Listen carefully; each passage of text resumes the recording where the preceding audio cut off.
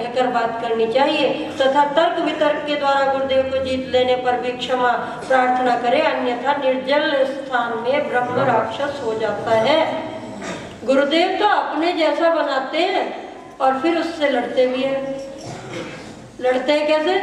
जैसे भीष्म पितामह ने तैयार कर दिया था अर्जुन दुर्योधन को। चलो अब मैं देखूँगा मल्लो मल्लम आप गए थे कि कितनी ताकत आई है। क्या? शस्त्र की प्रतिस्पर्धा पैदा करने के लिए और जीतेगा कि नहीं, विजय प्राप्त कराने के लिए उसको पारंगत करना था। शिष्यात इच्छेद पराजय, पुत्राद इच्छेद पराजय। गुरु की क्या भावना होती है कि शिष्य से पराजित होऊं अपने पुत्र से पराजित होऊं। कोई भी गुरु अच्छा गुरु, सदगुरु, क्या होएगा? तो क्या सोचेगा कि मेरा बच्चा, मेरा पुत्र, मेरा शिष्य मेरे से भी ऊँचा बने। इच्छित पराजयम। पराजित होना चाहता है, लेकिन अपमानित नहीं। क्या होना चाहता है? पराजित। यान्य समागम सुचरितानि तानि उपनिषद का वचन है कि जो भी मेरे सुंदर चरित्र है, वो करना तानी त्वयी त्वयोपास्यानि नो इतराणी जो अन्य तुझे नहीं करने नहीं भगवान शिव ने जहर पी लिया तो हम भी पीने लगे। नहीं पी सकते, उनमें ताकत है वो। करतुम अकर्तुम की ताकत वाले हैं। भगवान कृष्ण ने गोवर्धन पर्वत उठा लिया, हम नहीं कर सकते। भगवान कृष्ण इतनी गोपी अंगना मंगना बन गए, एक एक गोपी, एक एक कृष्ण। हम नहीं कर सकते, एक दो, एक को भी नहीं निभाना मुश्किल होता है। तो इसलिए उनकी वाणी को मानना है, न कि उनके चरित्र को देख के जितनी आवश्यकता है, उनके आदर्श को ग्रहण करना। है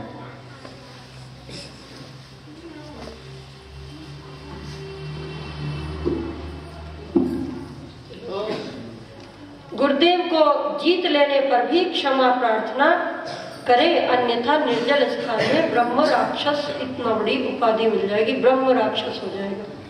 गुरुदेव से यदि हम कोई वाद विवाद कर रहे हैं और हम सही हैं गुरुदेव तो हो सकता है कि हमारी परीक्षा ले रहे हो गलत बोल के भी। हमारे हम, हमें पता नहीं चलता है कि हमसे गलती भी हो सकती है और खुद गलती करके हमें देख रहे हो। बहुत भयंकर होती है स्थिति। उस समय अपने को संभालना इसलिए गुरुदेव की गुरु मेरी जुबा से निकले गुरु गुरु है। मुनि फिर पन्न गई सुरई भाषा तो यदि। काल मृत्यु है आत्मापि। गुरु रक्षति सर्वदा। रक्षति सर्वदा। यदि मुनियों से सर्पों से अथवा देवताओं से शाप दिया गया हो तो उस शाप से काल और मृत्यु के भय से भी गुरुदेव सदा रक्षा करते हैं। इसलिए गुरुदेव सर्वश्रेष्ठ है सर्वोत्तम है सबसे ऊँचे उत्कृष्ट है। अशक्ता ही सुराद्याश्च अशक्ता मुनेस्तथा गुरुशापताक्षीणां क्षय विघाति संशयः सामर्थ्य रहित है। गुरु का शाप लगने से क्षय हो जाते हैं। इसमें संशय नहीं। कि जितने भी देवता गंधर्व, पितृ, यक्ष, किन्नर हैं, इन सब के यदि शाप लग जाएँगे, आपस में हम एक दूसरे को शाप दे दें और फिर भयभीत होते रहे, एक वो फिर कौन छुड़ाता है? स्वयं सदगुरु सत्ता ही छुड़ाती है। एक कथा सुनाते हैं शिव माता जी। क्या? राजा कौन हुए वो?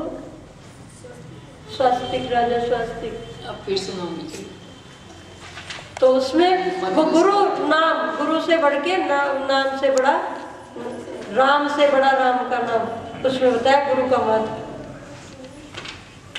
मंत्र राजविदम देवी। मन्त्रराजविदं देवी। गुरु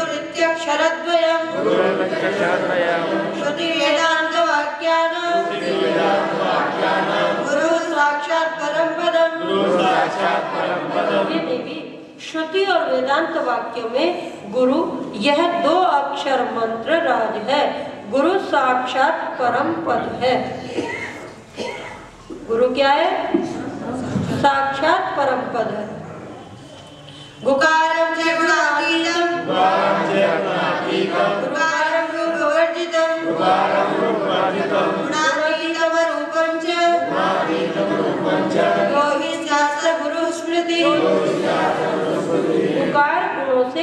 है, रुकार रूप से रहित है। जो गुणों से अतीत और रूप रहित है, वह गुरु कहलाता है। गुण क्या है? सतोगुण, रजोगुण और तमोगुण। इसीलिए उसको निर्गुण कहा गया। और हम कैसे हैं? हम तो गुण सहित है। हमारे अंदर कभी सतोगुण आ जाते हैं, कभी रजोगुण आ जाता है और कभी तमोगुण। तो जब हम योग साधना करेंगे, योगासन करेंगे, हमारे मन दूर होते चले जाएँगे, ये गुरु सिखाते हैं योग द्वारा। योग की क्यों आवश्यकता है? क्यों गुरु की आवश्यकता है? और गुरु कैसा हो? जो संपूर्ण ज्ञान वाला हो। एक गणित का अध्यापक होता है, एक इंग्लिश का, एक संगीत का और गुरु वो तो अलग अलग हो गया। लेकिन एक गुरु सदगुरु ऐसा है कि जो गणित अंग्रेज़ी सब कुछ जानता है। एक तो देवी देवता अलग अलग बैठे गणेश जी लक्ष्मी जी अलग अलग पूजते फिरोगे और एक सदगुरु में ही सारे क्या कह दिया? अड़सठ तीर्थ सदगुरु ज़रूर। सारे तीर्थ किसमें है? सदगुरुदेव में ही वास करते हैं। जब तीर्थ है तो देवता भी उन्हीं में ही वास करते हैं। तो एक गुरु के अंदर सारे गुण हैं। वो तत्व है सब। श्रुति और हमारे अंदर क्या है? हम गुणी हैं हम गुणज्ञ हैं। और गुरुदेव निर्गुण है जो गुणों से अतीत और रूप रहित है वह गुरु कहलाता है। रूप शिव महाराज जी माँ गुरुदेव ऐसे ही बताते हैं ना कि इसको नहीं कहते गुरु। गुरु वो सदगुरु सत्ता है। श्रुति स्मृति में विज्ञाय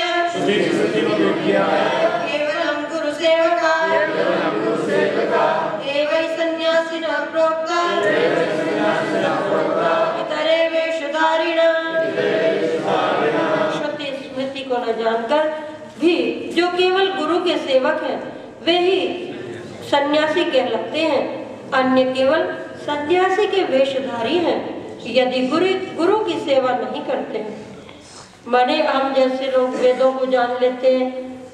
विद्या का अहंकार हो जाता है। ऐसी बात नहीं है। उस गुरु तत्व को जानने के लिए कोई आवश्यकता नहीं, किसी भी ढोंग आडम्बर की, किसी भी विद्या की, किसी भी ज्ञान की। गुरु निष्ठा सहजोबाई थी। क्या कहा उसने? क्या कह दिया? लंबा हो जाएगा। हरि को तजो नहीं, गुरु को विसारो। हरि को तजू मैं, गुरु ना विसारू।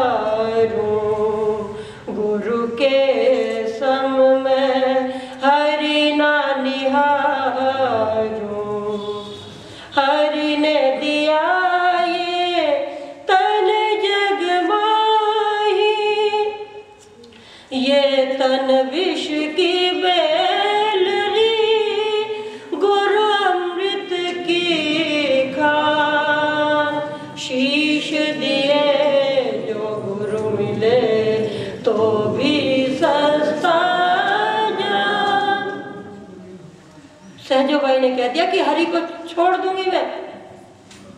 गुरु चरण दास ने उसको क्या दिया? दीक्षा दे दी और उसने साधना करने लगी। एक दिन उसके मन में आया कि जो गुरुदेव ने मुझे साधना कराई है, मैं उसकी सिद्धि प्राप्त करके देखूँ कि जो मैं चाहूँगी वो हो जाएगा क्या? वो पूजा करने बैठ गई तो आसन बिछा रखा था गुरुदेव के लिए। गुरुदेव तो आने में देर लगाई, भगवान कृष्ण आके खड़े हो गए।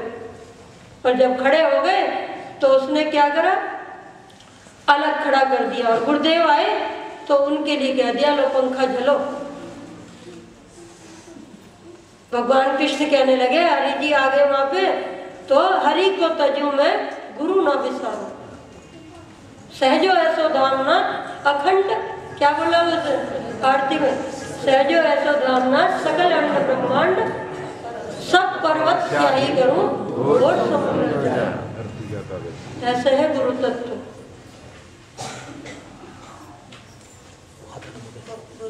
गुरु कृपा प्रसादेन। गुरुकृपा प्रसादेन। आत्मारामो हि लभ्यते अनेन अनेन गुरुमार्गेण यन्तर्ज्ञानं प्रवर्तते। ज्ञानं प्रवर्तते। गुरुदेव की कृपा के प्रसाद से अपनी आत्मा आनंद स्वरूप को प्राप्त होती है। इस मार्ग से अंतर ज्ञान उदय होता है। ये गुरुदेव की कृपा प्रसाद जब तक नहीं होगा।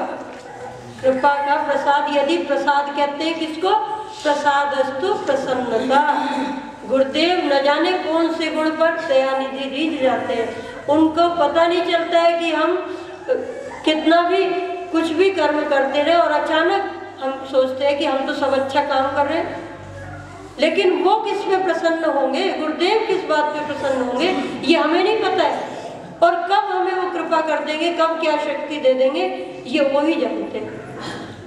तो उसके लिए हमें प्रयास करते रहना चाहिए। उस आनंद की प्राप्ति कौन कराते हैं? वो गुरुदेव।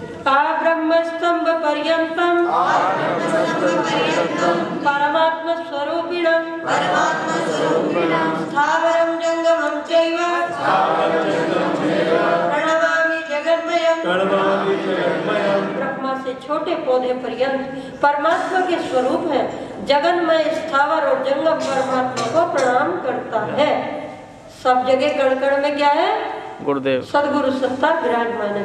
वंदे हम सच्चिदानंदम। वंदे हम सच्चिदानंदम। वेदातीतम जगद्गुरुम। वेदातीतं जगद्गुरुं नित्यं पूर्णं निराकारं। नित्यं पूर्णं निराकारं। निर्गुणं स्वात्म संस्थितम सच्चिदानंद स्वरूप भेद से अतीत नित्य पूर्ण आकार रहित गुण रहित स्वात्मा में स्थित जगत गुरु की मैं वंदना करता हूँ।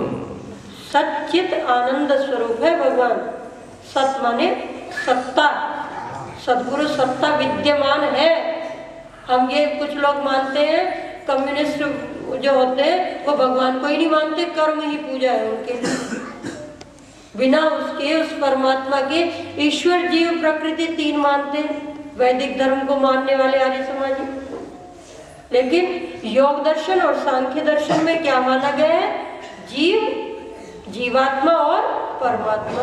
द्वैतवाद कोई अद्वैतवादी है शंकराचार्य जी को मानने वाले वो क्या कहते हैं? ब्रह्म सत्यम जगन मिथ्या। जीवो ब्रह्म केवलम्। केवलम।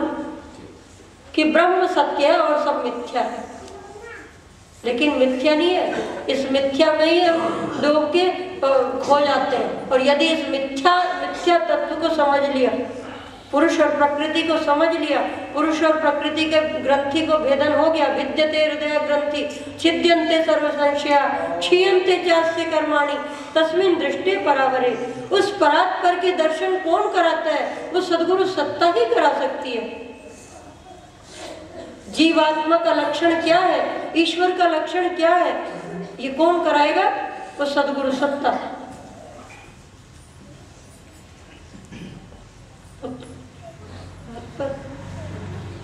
वंदे हो गया। परात्परतरम ध्येयम नित्यमानन्दकारकम्। नित्यमानन्दकारकम् हृदयाकाशमध्यस्थम् शुद्धस्फटिकसन्निभम् परे से अत्यंत परे ध्यान करने योग्य नित्य आनंद करने वाले हृदय आकाश के मध्य स्थित शुद्ध स्फटिक मणि के समान कांति वाले कैसे हैं? गुरुदेव शुद्ध स्फटिक वहाँ पे शिवलिंग है। मैंने कुरुक्षेत्र में वहाँ जयराम विद्यापीठ में स्फटिक मणि का भगवान शिवलिंग का है, भगवान शिव का। तो क्या है उसमें इतना भी वो नहीं है। निशान, चिन्ह कोई दूसरा। स्फटिक आर पार दिखाई देने वाला।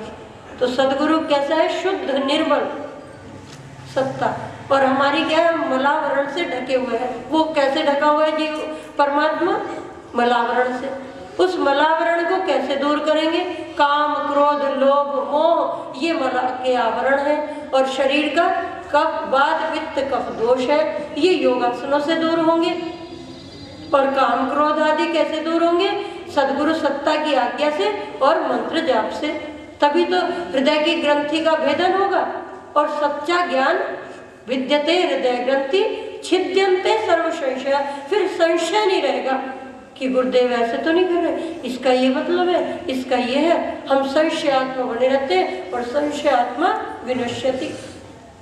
दृढ़ निश्चयी जो होगा दृढ़ संकल्प ही जो होगा वही उस तत्व को पा सकता है। इसीलिए हठ योग का अधिकारी हर कोई नहीं बनता। हम लोगों को किस माध्यम से ले जा रहे हैं? सहज योग के माध्यम से? सिद्ध योग। सिद्ध योग। सिद्ध योग को पाना है। सिद्ध योग का ही माध्यम है। लेकिन इसमें सभी साधनाएँ करा रहे हैं। सांख्य योग कर्म योग भक्ति योग ज्ञान योग सभी कुछ दिया जा रहा है इस दरबार से। सिद्ध कृपा है शक्तिपात स्फटिक प्रतिमा प्रतिमा रूपम। स्फटिक प्रतिमा रूपम। दृश्यते दर्पणे यथा। तथात्मानं चिदाकारं तथात्मानं चिदाकारं आनन्दं सोऽहमित्युता। जिस प्रकार स्फटिक मणि प्रतिमा रूप से दर्पण में दिखाई देती है उसी आत्मा चेतन आकार में आनंद स्वरूप है, वह आनंद ही मैं हूँ।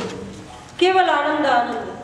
आनंद रसो वही सह, रसम जेवायम लब्धा आनंदी भवती। हर मनुष्य चाहता है, भोजन में भी जिह्वा में स्वाद, बोलने में भी स्वाद लेने लगता है, सुनने में भी स्वाद लेता है। हर समय हम रस रस ग्रहण करना चाहते हैं हर समय। लेकिन वो इतना इतना इतना, उतना मिलता है, क्षणिक।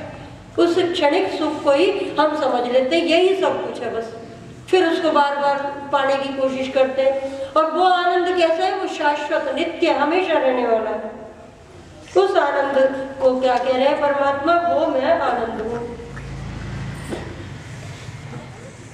भजन है ना एक? एक लाइन। एक लाइन। ओम पामध्ये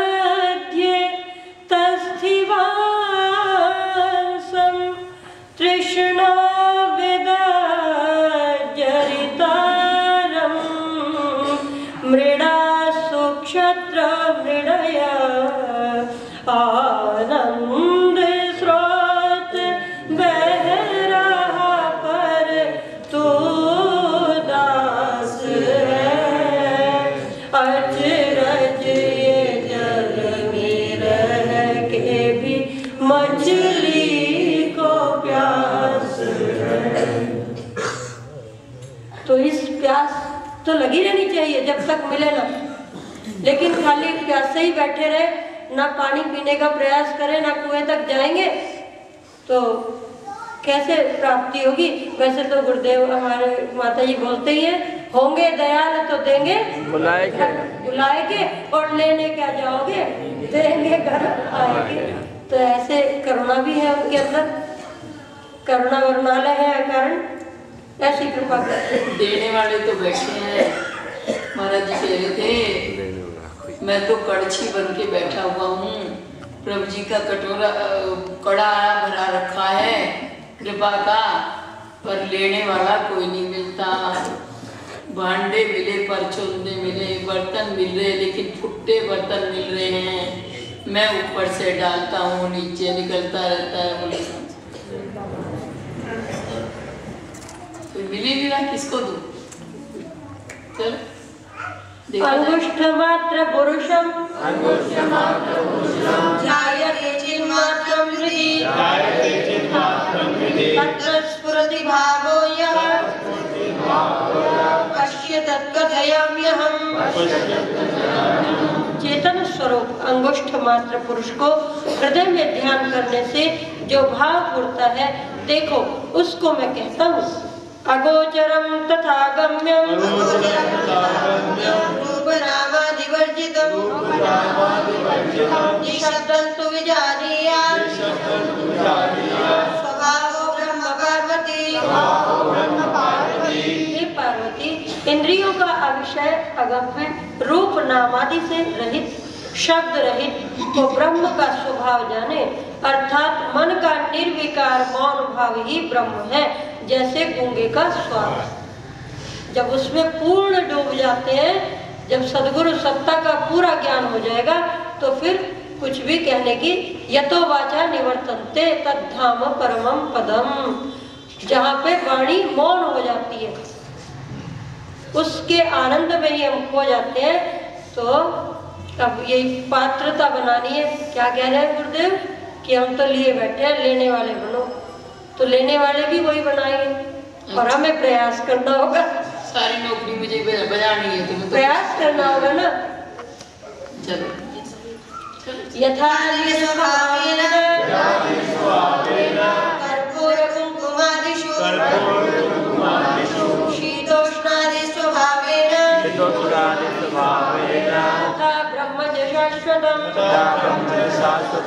जिस प्रकार कपूर कुंकुम आदि के अपने अपने स्वभाव शीतोष्णादि हैं, उसी प्रकार ब्रह्म का शाश्वतता ही स्वभाव है। वेदों को विदेशियों, विदेशी लोग यहाँ आकर ले गए और उन्होंने क्या कह दिया कि गडरियों के गीत हैं तो। जो स्वयं सदगुरु सत्ता से